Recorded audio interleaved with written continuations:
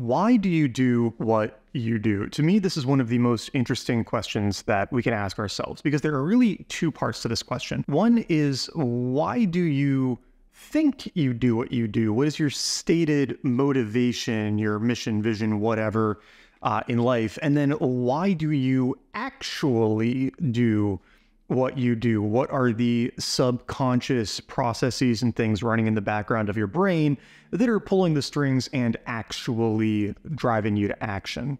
It's extremely hard to be honest with ourselves about these these hidden motivations, the, these underlying drivers of our actions. And one of the big goals and projects of philosophy for basically all of human history has been to try to more deeply understand these motivations. We've been trying to figure this out for a long time. And a lot of us in a productive go, go, go culture focus on the first kind of motivation, having goals and having the thing that you're going after, why you say you do what you do. But that is probably much less powerful than the second kind, the subconscious motivation, the underlying forces that are driving your behavior. And in this book, The Denial of Death, Ernest Becker makes a very compelling case about what a big part of that hidden motivation in life is. And this is one of those books that completely changed my life. Uh, once I read it, I think about it often. I refer back to it a lot, certainly in in other videos on this channel and in, in my short form videos as well. Because not only is it beautifully written and fascinating and relatively easy to read, it makes this very compelling case about what some of these underlying motivations are and where a lot of our fears and anxieties about life come from. So today I'm going to share with you some of my favorite ideas from the book. It's really such a, a wonderful uh, work of nonfiction. If you've already read it, this might be a great refresher. If you haven't read it, this will give you some uh, great nuggets to pique your curiosity if you do want to go pick it up. And I think we should just dive right in. So Becker starts by outlining what he calls our tragic destiny. He says that each of us must desperately justify ourselves as an object of primary value in the universe. He must stand out, be a hero, make the biggest possible contribution to world life, show that he counts more than anything or anyone else. And this is, you know, we're talking here about these underlying uh, motivations in life. And Becker is saying that one of the core problems or core challenges that we have is that each of us on some level is driven to be significant, right? Is, is to matter. None of us wants to believe that when we die, we will have had no impact on the world around us. And he says that part of that comes from this mythical hero system that society seems to have always believed in to some extent. If you've read any of Joseph Campbell's work, like Hero with a Thousand Faces or The Power of Myth, he talks a lot about how there are these recurring mythological themes. This hero's journey is probably the one that you've heard. And so many of our stories tie into this hero's journey. And, and what Becker seems to be kind of getting at here is that there's this dual relationship between the myth of the hero and this underlying challenge in our psyche. We are drawn to the hero myth because each of us wants to have uh, our own heroic impact uh, on the world. He says, it doesn't matter whether the cultural hero system is magical, religious, and primitive or secular, scientific and civilized. It is still a mythical hero system in which people serve in order to earn a feeling of primary value, of cosmic specialness, of ultimate usefulness to creation, of unshakable meaning. They earn this feeling by carving out a place in nature, by building an edifice that reflects human value, a temple, a cathedral, a totem pole, a skyscraper, a family that spans three generations. The hope and belief is that the things that man creates in society are of lasting worth and meaning, that they outlive or outshine death and decay, that man and his products count. And then he says that the the modern fascination with science and technology is actually just the newest version of this hero myth. No matter how scientific or secular it claims to be, Western society is still as religious as any other. Civilized society is a hopeful belief and protest that science, money, and goods make man count for more than any other animal. In this sense, everything that man does is religious and heroic, and yet in danger of being fictitious and fallible. Okay, so we're already starting to tie in some of the ideas from earlier books, and this is kind of hinting at some of the problems with humanism that John Gray talked about in episode two, Straw Dogs, where we kind of abandoned the old religions and adopted this philosophy of humanism, where humans are special and our technology and achievements makes us more significant than other animals. But What Becker is saying is that this is basically just a new form of religion, a new way for us to try to achieve this cosmic significance. Because whether we admit it or not, again, all of us are afraid that we don't fit into or that we're a part of something bigger than ourselves. And while religion provided a sense of meaning and some cosmic significance, without that, we have to seek it elsewhere. And that's why he says that uh, science, money, and goods can make man count more than any other animal. And this is all in the introduction. This is how Becker's starting to introduce his ideas by saying that this is a core part of what motivates all of us. We all have some underlying fear that we don't matter, that we're not significant, that we won't have an impact on the world. And that's demonstrated and wrapped up in these perpetual hero myths. Uh, you could even say that obsession with video games uh, or with superhero movies are also other ways that we are playing out this need for meaning, significance, this need for heroics in our life today. We don't have any way to get it ourselves in our day to day life, so we seek it elsewhere, either in play or in watching someone else achieve it. And so Becker finishes the intro by saying, having laid this groundwork, we kind of know what each of us needs to think about if we take his assertions as true. To become conscious of what one is doing to earn his feeling of heroism is the main self analytical problem of life. Everything painful and sobering in what psychoanalytic genius and religious genius have discovered about man revolves around the terror of admitting what one is doing to earn his self esteem. This is why human heroics is a blind drivenness that burns people up. In passionate people, a screaming for glory as uncritical and reflexive as the howling of a dog. In the more passive masses of mediocre men, it is disguised as they humbly and complainingly follow out the roles that society provides for their heroics and try to earn their promotions within the system, wearing the standard uniforms but allowing themselves to stick out but ever so little and so safely with a little ribbon or a red boutonniere, but not with head and shoulders. So Becker's saying that if you accept that we all have this underlying fear, this underlying anxiety that our lives don't matter, then each of us is trying to achieve heroism in some way. In your job as somebody who wants to know and understand themselves is first and foremost to try to figure out what are you doing to feel heroic. And it requires a lot of honesty because sometimes it the answer might not be something that you like, or it might be that you're starting fights on social media because it gives you some feeling of importance. You might not like the answer to the question, but it's very important to ask it so that you can then further explore whether that is how you would want to potentially have a heroic impact on the world. Because what we're going to get into a little more later is that when we don't have a clear way to achieve that heroism, uh, we can often seek it out in other way, or we can often seek that meaning in other more destructive to ourselves in other ways. It says, Man will lay down his life for his country, his society, his family. He will choose to throw himself on a grenade to save his comrades. He is capable of the highest generosity and self sacrifice, but he has to feel and believe that what he is doing is truly heroic, timeless, and supremely meaningful. The crisis of modern society is precisely that the youth no longer feel heroic in the plan for action that their culture has set up. They don't believe it is empirically true to the problems of their lives and times. We are living in a crisis of heroism that reaches into every aspect of our social life. So, and this is, I think, one of the really beautiful and impressive things about this book is everything that we just cover is the first seven pages. He lays it out so well in the introduction that at root, each of us is motivated to have some significant impact on the world. We each want to be heroes, whether we admit it or not. Therefore, we need to identify what it is that we are doing to feel heroic. What how do you create that feeling in yourself? How do you uh, scratch that itch? And is that a good way to scratch that itch or a bad way? And does the itch even need to be scratched at all? And then further, part of the problem of society today is that people don't feel heroic. They don't feel like they have a meaningful way to channel that heroism, either because there are not causes big enough that they care about, or because they feel uh, unable to actually have any meaningful impact on the world. And so, if we want to create a better society, if we want to create happier individuals, we need ways for each of us to become heroes of our own life. Or we need to identify the ways that we are scratching this itch that might be harmful to ourselves and others.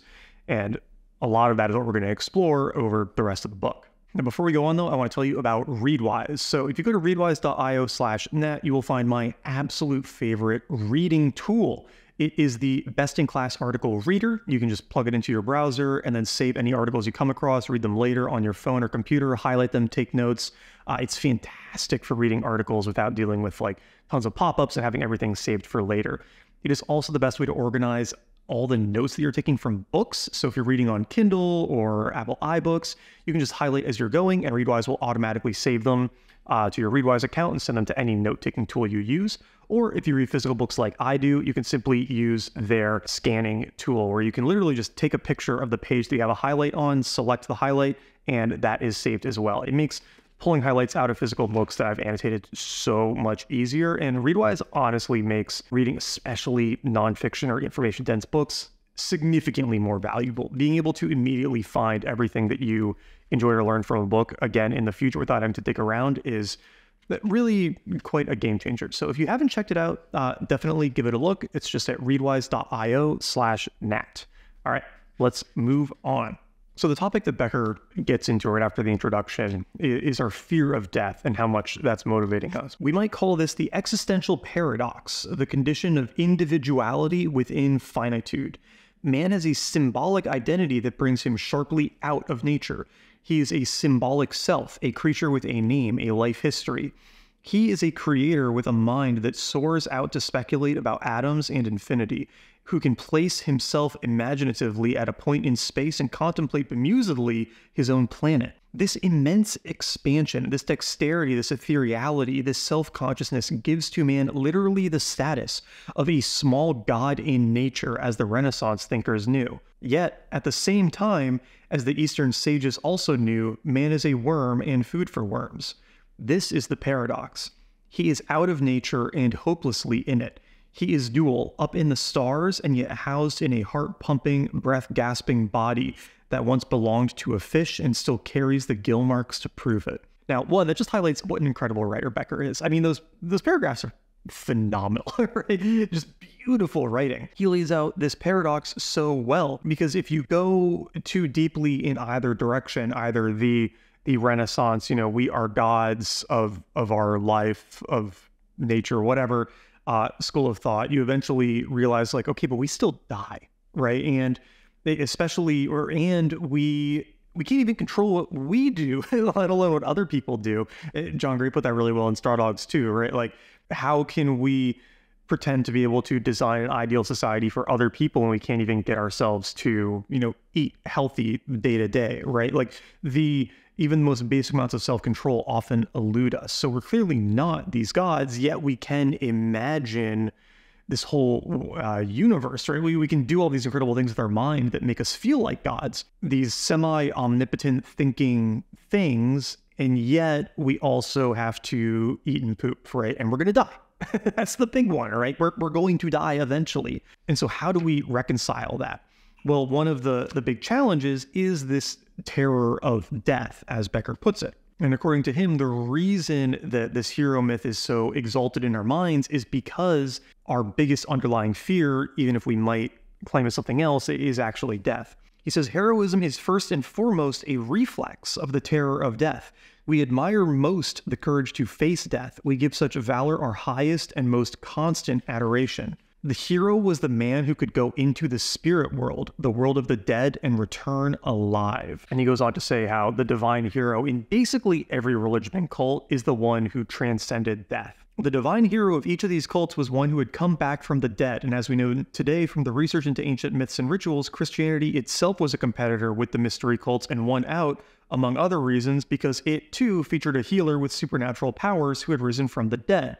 These cults and religions were an attempt to attain an immunity bath from the greatest evil, death, and the dread of it. So he's saying that one, we create heroes and we look up to heroes because they're often the ones who have transcended death in some way or defied it or shown a lack of fear in the face of it. And so many of our religions center around figures who also transcended death, who came back from the dead or who had some promise of rebirth or immortality because by uh, connecting ourselves to those myths, we can hope that we too can eventually transcend death, our greatest fear. And part of why we want to attach ourselves to those heroes, why we want to exalt these stories, is again because we have that fear of death, and that fear of death is actually a completely natural thing for us all to have. It's something we would expect there to be. He says animals, in order to survive, have had to be protected by fear responses in relation not only to other animals, but to nature itself. They had to see the real relationship of their limited powers to the dangerous world in which they were immersed.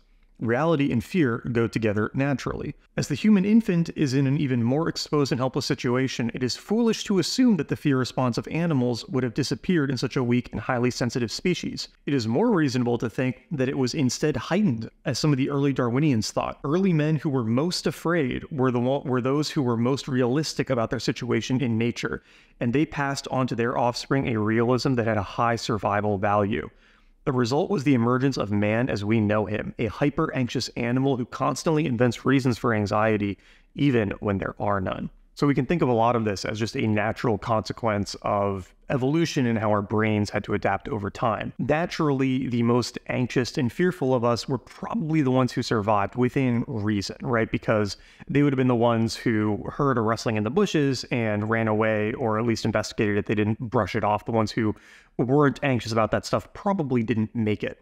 But then, because we have this very strong latent anxiety about the things around us, and because we can conceptualize death, we can imagine these terrifying things, we become these hyper anxious animals who are always inventing something to be afraid of. And that's something that I think resonates with a lot of people, where even if you're in an objectively good situation, you almost can't enjoy it. You feel like something something must be wrong, right? Like if too many good things happen, there must be something else coming coming down the pipe, right? And, and we can even think of this as another form of hedonic adaptation, right? Where you stop enjoying things very quickly, not necessarily because you get used to them, but because you feel like there must be something else you need to do to be safe.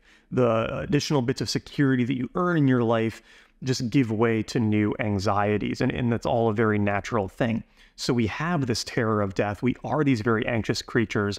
And so we idolize these heroes who can uh, seemingly ignore that anxiety, who can fight back against it, who can face death.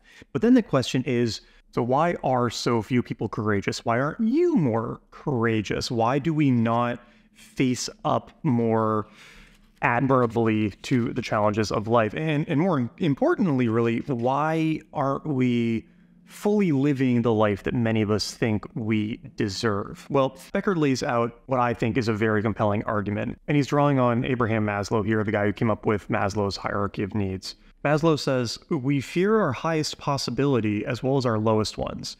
We are generally afraid to become that which we can glimpse in our most perfect moments. We enjoy and even thrill to the godlike possibilities we see in ourselves in such peak moments, and yet simultaneously shiver with weakness, awe, and fear before the very same possibilities. Now, Becker explains that Maslow called this the Jonah syndrome. And apparently, Maslow thought of the Jonah syndrome as the evasion of the full intensity of life. Reading from Maslow again We are just not strong enough to endure more. It is just too shaking and too wearing. So often, people in ecstatic moments say, It's too much, or I can't stand it, or I could die. Delirious happiness cannot be borne for long. Our organisms are just too weak for any large doses of greatness. And so Becker explains that the Jonah syndrome, seen from this basic point of view, is a justified fear of being torn apart, of losing control, of being shattered and disintegrated, even of being killed by the experience. And the results of this syndrome is what we would expect a weak organism to do to cut back the full intensity of life. Reading from Maslow again, for some people, this evasion of one's own growth, setting low levels of aspiration, the fear of doing what one is capable of doing, voluntarily self crippling, pseudo stupidity, mock humility, are in fact defenses against grandiosity. Now, I, I love this concept so much that that most of us choose to live a simpler, less ambitious, less courageous life because we are afraid of what it would mean if we truly lived up to our potential. There is some latent fear on the one hand that could be the experience would be too much, right? That we couldn't handle it. But I think there is also this strong fear that if we try to live up to it and we fail, we will be destroyed by it. Becker actually goes on and says it all boils down to a simple lack of strength to bear the superlative, to open oneself to the totality of experience an idea that was well appreciated by William James and more recently was developed in phenomenological terms in the classic work of Ralph Otto. And he basically goes on to say that we're so overwhelmed by our incredible potential that we just shrink back in fear and aim for something smaller instead. This is something that I think we can all ask ourselves, right? Because on one level, many of us know what we want to be doing with our life, what we wish we were spending our time on, how we wish we were being heroic, or how we wish we were contributing to the world. And then the question you have to ask yourself is Are you not going after that because you're afraid of it in some way? Are you afraid of what it would mean if you failed? Are you afraid of who you would be if you succeeded? And we will often create these false reasons for not going after it as excuses to self soothe our own weakness, right? Or reading the Maslow quotation again. For some people, this evasion of one's own growth, setting low levels of aspiration, the fear of doing what one is capable of doing, voluntarily self crippling, pseudo stupidity, and mock humility. Those are all defenses against grandiosity. So if you're setting goals that you know you can achieve, if you're self sabotaging in some way, then these are all symptoms that you are afraid of your own potential. And if you can get past them, if you can risk failing at the big thing in life, then you might actually achieve that incredible vision of yourself that you imagine when you allow yourself to. There's this other idea here about the things that cause us to fear our grandiosity, about our, our anxieties and our struggles. Becker says, Man is driven toward the things that support the lie of his character, his automatic equanimity, but he is also drawn precisely toward those things that make him anxious as a way of skirting them masterfully, testing himself against them, controlling them by defying them. And he goes on and explains that uh, we often become obsessed with the things that annoy us or upset us or make us anxious because by struggling against them, we can exert some degree of a feeling of self control or a feeling of control over our lives.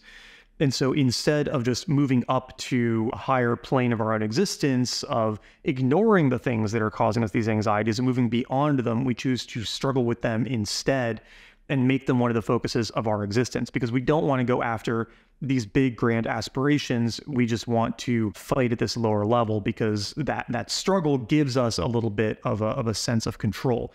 And he explains too that when you lack a strong source of meaning in your day to day existence in your life, you will find some smaller thing to struggle against instead. Again, if you find that you're always complaining about the same people or the same things, or you feel like there are these you know adversaries online or something that you need to go out and fight that might just be a symptom that you don't have a strong source of meaning in your life and you need to go figure out what it is you could be pouring your time into that would provide that instead of picking these battles with your own fears and anxieties. And so he, he ties some of this together at the end of this this chapter on our character and how we how we lie to ourselves, where he says that the irony of man's condition is that the deepest need is to be free of the anxiety of death and annihilation, but it is life itself which awakens it, and so we must shrink from being fully alive. This is the real challenge that we have to contend with.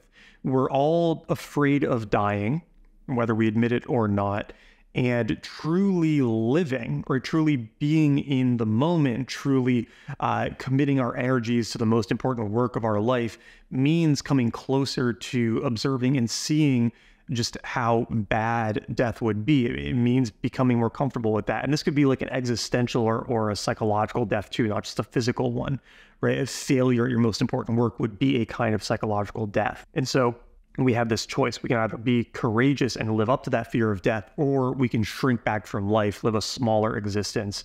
And most of us choose to do the latter. And so, what would be a sign that you are in the latter camp, right? That you are somebody who is shirking away from their life? Well, he introduces this concept of the automatic cultural man, which uh, was originally written about by Kierkegaard.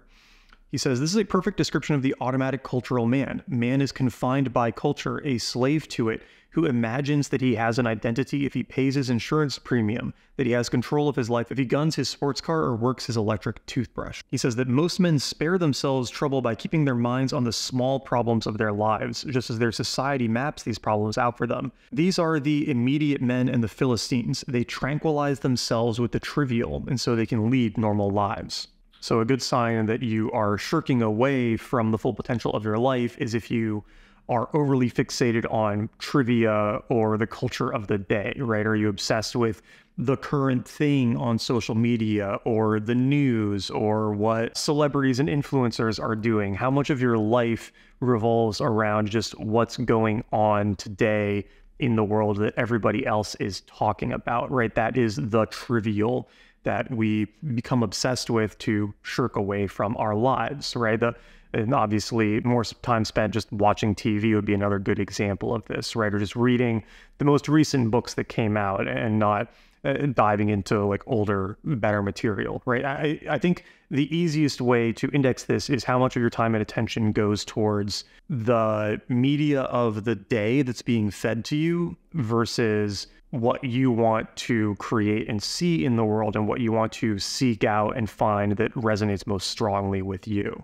And this is another theme that that has come up quite a bit that you sort of have this choice, right? Uh, John Gray talked about this, Schopenhauer talked about this, Montaigne talked about this a little bit. You can really either see the finiteness of life, you can see our mortality, you can see the fact that we are both these mini gods and food for worms, and you can try to embrace it and live it and fulfill your highest calling, or you can choose not to and you can shirk back from life. He says that while one sort of despair plunges wildly into the infinite and loses itself, a second sort permits itself as if it were to be defrauded by the others by seeing the multitude of men about it, by getting engaged in all sorts of worldly affairs, by becoming wise about how things go on in this world, such a man forgets himself, does not dare to believe in himself, finds it too venturesome a thing to be himself. Far easier and safer to be like the others, to become an imitation, a number, a cipher in the crowd. There is some discord amongst other philosophers talk about this. Some, like I think Becker uh, and Kierkegaard are saying is that this is just blanket sad, right? If you're being just a culture person, an NPC or whatever, then that's sad. But Gray's take on this is kind of interesting too, where he says that that's okay. if you don't want to think about your mortality every day, if you don't want to try to change the world, build pyramids or whatever, you should just pick up a strong religion or get obsessed with fantasy football or watch every TV show on Hulu, right? Because that is the closest that you will come to happiness otherwise, right? Like that's an okay fate. And that is probably the fate that most people are going to choose. But if you do aspire to do something and if you're honest with yourself about those aspirations, then you have to be willing to turn away from the seductions of being an automatic cultural man. And if you decide that you don't want to be an NPC, you don't want to be an automatic cultural man, then uh, there are certain things you have to do. And one of those is kind of removing your psychological, secure reliance on society. So he, he later says, each child grounds himself in some power that transcends him. Usually, it is a combination of his parents, his social group, and the symbols of his society and nation. This is the unthinking web of support which allows him to believe in himself as he functions on the automatic security of delegated powers. So, this is how we all start in life, right? As a child, you're obviously more vulnerable. You can't really be self sufficient yet. And so, you rely on external sources of security. But he goes on to say that you can only really be a fully self actualized person if you can move that locus of security back internally. As long as you are still relying on your parents or your peers or your maybe your religious community as that source of security, then you're still in some ways kind of like a child. And one thing that he says is that if you admit that you are a creature, if you admit that you're just another animal, you accomplish one basic thing. You demolish all your unconscious power linkages or supports. I believe that what he's saying is that if you can admit that, or if you can at least think along the lines of, okay, I'm food for worms, then you recognize that a lot of these external uh, sources of security are kind of just like imagined, right? Like they're they're just means of coping. And if you think of yourself as just this animal that also has the, this mind uh, operating inside of it, then maybe you can bring some of that sort of security back uh, inside yourself. And this is where it creates, or this is where he gets into kind of an interesting relationship with religion and God. And he's talking a lot about Kierkegaard's ideas here. He says that actual real freedom and real security is by building a deeper relationship with that ultimate power that resides in you. It's almost hard to tell how much he's talking about God in a like Judeo-Christian sense, talking about God as a more universal idea, or merely talking about these kind of infinite powers of our mind. He says, once the person begins to look to his relationship to the ultimate power, to infinitude, and to refashion his links from those around him to that ultimate power, he opens up to himself the horizon of unlimited possibility of real freedom. And this is a really powerful idea that true self confidence, true self worth, true security comes from deeply linking yourself, deeply connecting yourself with that kind of infinite power within your mind or with that infinite power within God and the universe. I think you could read this both ways. I will say that Kierkegaard is very clearly saying that this is like God, that you need to have faith. And I, am not going to say that's wrong, right? Because that, that is another interesting way to uh, read this idea.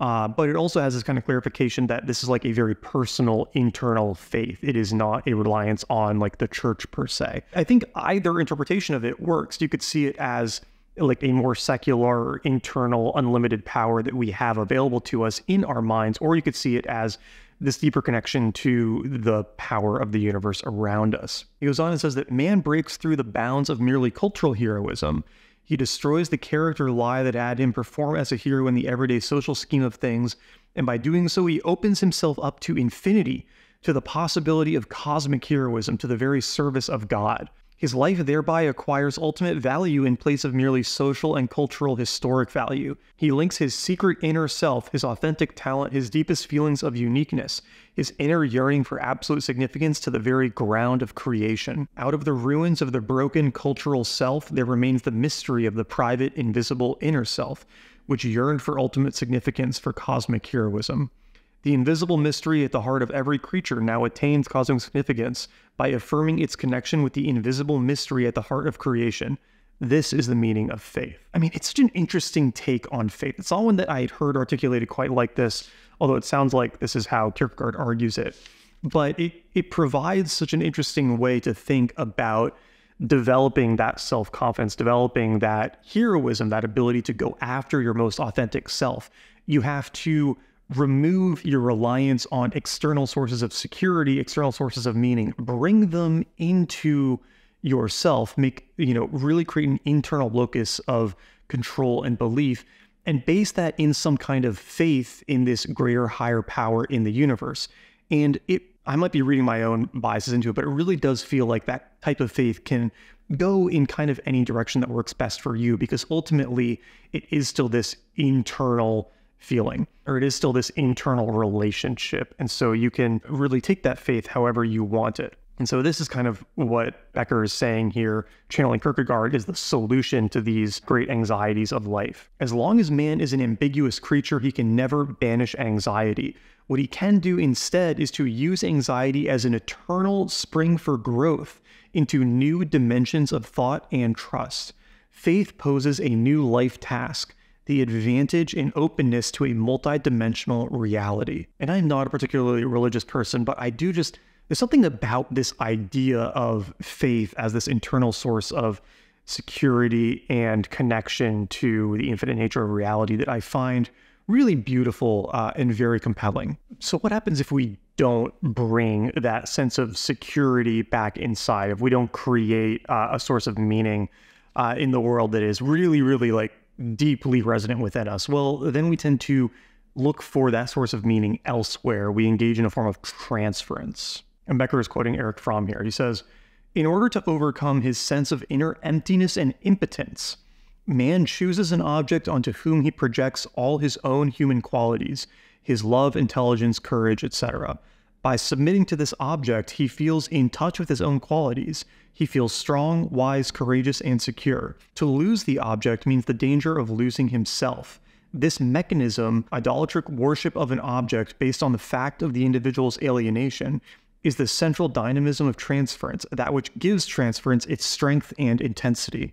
Obviously, you've seen children do a version of this, right? They have a stuffed animal that's their favorite and they bring it with them everywhere because it makes them feel secure. But a lot of adults who don't have a strong inner sense of meaning or security will do this too, but they might uh, project it onto a sports team or a political uh, leaning, right, or a political candidate who they really want to win or not win.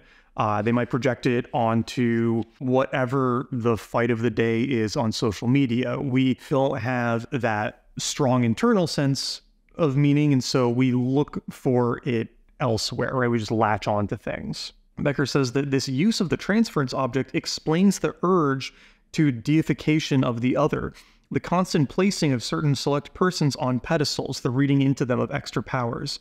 The more they have, the more rubs off on us. We participate in their immortality, and so we create immortals. As Harrington put it graphically, I am making a deeper impression on the cosmos because I know this famous person. When the ark sails, I will be on it. Man is always hungry, as Rank Soul put it, for material for his own immortalization. The Groups need it too, which explains the constant hunger for heroes. So again, if we don't feel like we can be heroic ourselves, we will pick similar something in the world to treat as a hero instead.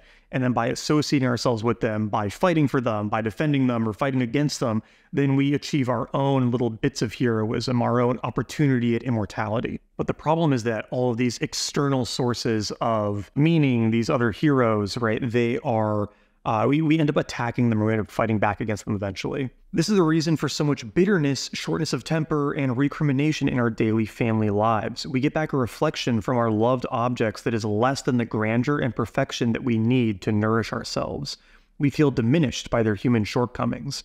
Our interiors feel empty or anguished, our lives valueless when we see the inevitable pettiness of the world expressed through the human beings in it. For this reason, too, we often attack loved ones and try to bring them down to size. We see that our gods have clay feet, and so we must hack away at them in order to save ourselves, to deflate the unreal overinvestment that we have made in them in order to secure our own apotheosis. In this sense, the deflation of the overinvested partner, parent, or friend is a creative act that is necessary to correct the lie that we have been living to reaffirm our own inner freedom of growth that transcends the particular object and is not bound to it. But not everybody can do this because many of us need the lie in order to live. We may have no other God and we may prefer to deflate ourselves in order to keep the relationship, even though we glimpse the possibility, the impossibility of it and the slavishness to which it reduces us. This is one direct explanation, as we shall see, of the phenomenon of depression. So, this transference of heroism onto somebody else, this reliance of others for that sense of heroism, eventually backfires. We start to see the imperfections. We see that our gods have clay feet, and so we end up attacking them. And that could be lashing out against authority figures, could be lashing out against partners. Uh, we, we end up attacking the things that we love most or are obsessed over. Or as we see this kind of actual limited potential in the world, we end up dimming our own light because if our heroes, if our gods are this fallible, then we must be even more fallible. And so we shrink away from life even further. But lest this all seem a little too depressing, Becker does provide some very compelling advice on actually how to live, how to resolve these paradoxes and challenges. And the first is to try to engage more fully with life. To live is to engage in experience at least partly on the terms of the experience itself. One has to stick his neck out in the action without any guarantees about satisfaction or safety. One never knows how it will come out or how silly he will look, but the neurotic type wants these guarantees. He doesn't want to risk his self image. Rank calls this very aptly the self willed overvaluation of self, whereby the neurotic type tries to cheat nature. He won't pay the price that nature wants of him to age, to fall ill, or be injured and die. Instead of living experience, he ideates it. Instead of arranging it in action, he works it all out in his head. So, the first way to actually be alive is be willing to engage in life on its own terms. If you're highly neurotic, controlling perfectionist, then you don't want to do anything unless you can control all the variables. But life doesn't work that way. You have to be willing to risk death, to risk aging, to risk things not going the way you want if you want to be able to engage with life as authentically as possible. And so neuroticism is really a huge hindrance to a fulfilled and happy life here because the more neurotic you are, the more wrapped up you are in the outcomes and in control, the unhappier you're going to be as a result. But then the big challenge is that if you're engaging with the world authentically, you're going to see all of these imperfections, all these problems, all these challenges in it. Uh, but there's a there's a solution for that, so to speak. Either you eat up yourself and others around you trying for perfection, or you objectify that imperfection in a work on which you can then unleash your creative powers. In this sense, some kind of objective creativity is the only answer man has to the problem of life. In this way, he satisfies nature, which asks that he live and act objectively as a vital animal plunging into the world but he also satisfies his own distinctive human nature because he plunges in on his own symbolic terms and not as a reflex of the world as given to mere physical sense experience. He takes in the world, makes a total problem out of it, and then gives out a fashioned human answer to that problem. This, as Goethe saw in Faust, is the highest that man can achieve. So once we start engaging with the world, we will see all the imperfections, all the problems in it. And one thing that we're tempted to do is try to fix all of them, right? Try to control the people around us, try to control the environment around us in order to resolve all these things that we see as broken. But that is not how to live a happy life, according to Becker. Instead, you take the imperfection you see in the world and you channel it into your own creative project, into your own source of meaning. You create some kind of solution, some piece of art, or uh, I mean, this could be a company, this could be a family. You create something to bring more perfection into the world instead of trying to change everything uh, outside of you. And this allows you to live in both worlds. You are still this animal kind of reacting to the, the various stimuli around you, but you are creating something that has a little bit of that infinite mental possibility attached to it. You're you're bridging both sides of the paradox. He goes on to say that, you know, in relating to this kind of infinite capacity while stuck in this physical form, man needs a second world, a world of humanly created meaning, a new reality that he can live, dramatize, and nourish himself in.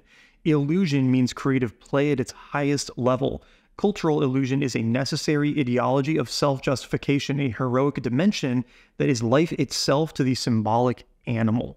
So you need both worlds. You need the physical, real animal world that you live in, and you need this world of ideas, this creative place where you can express yourself and the problems you see in the world. Because if you can't do that, then you'll be stuck in, in this sort of horribly depressed life. He says, modern man is drinking and drugging himself out of awareness, where he spends his time shopping, which is the same thing. As awareness calls for types of heroic dedication that his culture no longer provides for him, society contrives to help him forget. Or alternatively, he buries himself in psychology in the belief that awareness all by itself will be some kind of magical cure for his problems. So if we're not willing to fully engage in life, if we're not willing to walk these two worlds, to find something to pour ourselves into, to kind of like be courageous and, and stand up and face this potential for death, then we will naturally be inclined towards drinking and drugging ourselves out of existence and numbing that awareness of our failure to live up to our potential.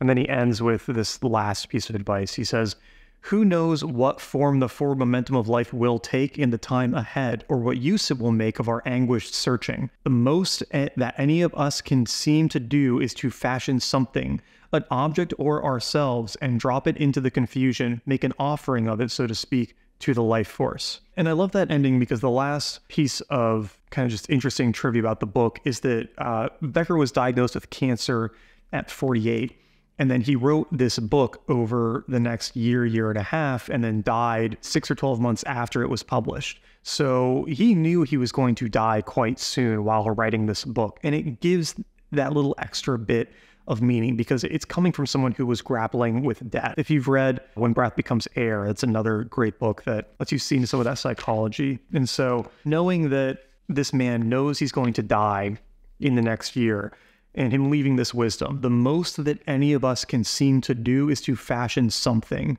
an object or ourselves, and drop it into the confusion, make an offering of it, so to speak, to the life force. There's something really powerful about that, that at the end of life, somebody who was you know, a very esteemed psychologist uh, and writer in his time, you know, that's basically what he was saying is all we can hope to do, is to make some kind of offering to the life force, some source of meaning that, that resonates with us. And then aside from that, accept that we are all stuck in these finite, limited corporeal beings. If you enjoyed this episode, uh, please send it to a friend. That is the best way for this podcast to continue to exist. And thank you to everyone who's already done that.